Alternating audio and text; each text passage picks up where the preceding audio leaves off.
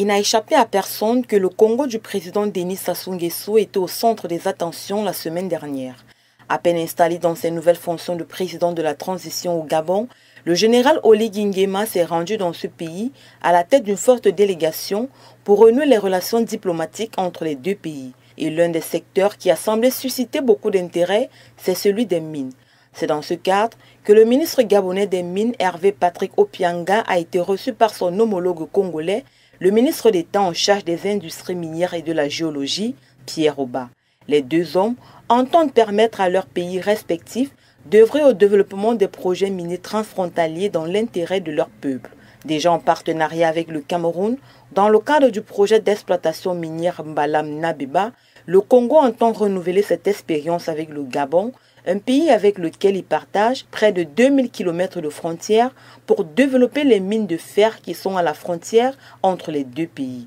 Au sujet justement du projet d'exploitation du gisement du minerai de fer de Nabeba, le directeur de l'administration et des relations publiques de la Cameroon Mining Company SAL, la société en charge de l'exploitation du minerai de fer de Mbalam, a levé un pan de voile sur les avancées enregistrées dans le cadre du projet Nabeba au Congo-Brazzaville. Il a appris aux représentants des différentes administrations, en présence du ministre par intérim des Mines, que la pose de la première pierre de ce projet pourrait avoir lieu au quatrième trimestre de l'année en cours. Une avancée notoire qui est fortement conditionnée par la signature des accords contraignants par l'État congolais. Par ailleurs, le consortium en charge du projet intégré qui englobe le développement des gisements Balam, Nabeba, Avima et Badondo, ainsi que la construction des infrastructures connexes, notamment la voie ferrée reliant les mines au port autonome de Kribi et le terminal minéralier de Kribi confirme les avancées prometteuses des préparatifs en cours. Selon des informations dignes de foi, le consortium a obtenu il y a quelques jours